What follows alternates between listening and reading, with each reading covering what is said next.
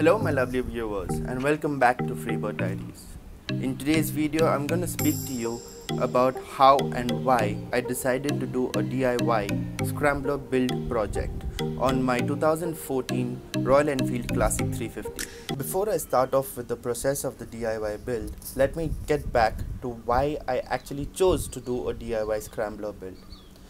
So back in 2019 uh, when I decided to go and build a scrambler out of my existing Royal Enfield Classic 350 I did reach out to a couple of uh, customization shops and you know gave them my idea of a scrambler build. I also had in mind what exactly I wanted to build and what are the parts that need to be replaced so the price quotations that I actually got on um, the lowest that I got was actually 65,000 and the highest that I got was 95,000 which I thought was way too much for the parts that I wanted or the things that I wanted to be changed on the Royal Enfield. So I decided to do it myself.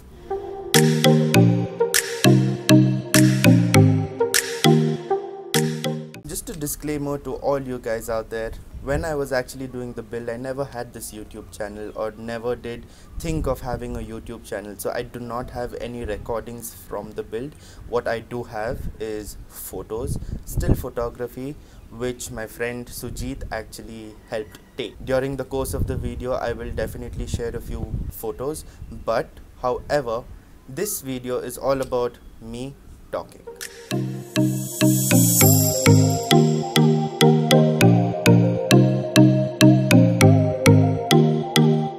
Before I started off the build, I actually did my research on what could be the legal modifications as per Indian laws so that I did not have the cops chasing me every time I took out the bike. We started off by stripping down the bike. So my first clear picture was shorter mud guards.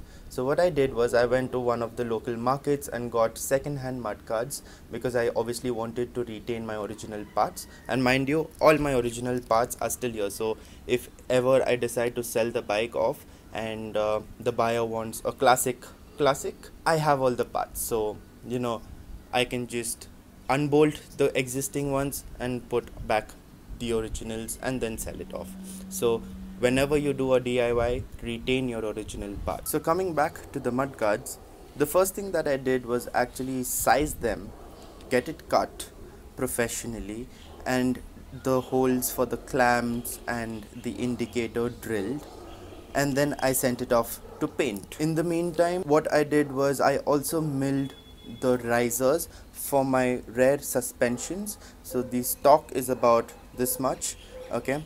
But what I got were 2 inches, which I got milled from CNC block and it was just a simple case of unbolting it and then putting it so that I don't have any additional parts or screws which might prove faulty. Next came the front suspensions. I changed the springs to the standard 350 which has harder springs in there and I think it's also two coils extra so it gives you less travel when you're actually doing off-roading. Coming to the exhausts, I did not change it because again that modification is illegal. But here's something for you guys to let me know, right? Here's the question. Do you think that if I reposition the original exhaust system like a scrambler, which is cutting half through, would that be legal? Do let me know what you think in the comments section down below. Now when I stand, me being a 6 foot tall person, I actually had to redesign the handlebars and I got a higher dirt bike style handlebar which is also known as RD handlebars but it's much bigger than a RD handlebar so that I can comfortably stand. I did use adjustable levers for my clutch and the brake which gives a better response when it comes to braking or leaving the clutch. This is much better in compared to the original levers if y'all ask me my opinion but when you're looking to install this on a regular bike I would suggest not to do so. I did change the rear sprocket of the bike as well so that I get more torque at lower RPMs obviously I did not do anything to the engine to give me more power but doing these smaller modifications I think my bike actually performs pretty well.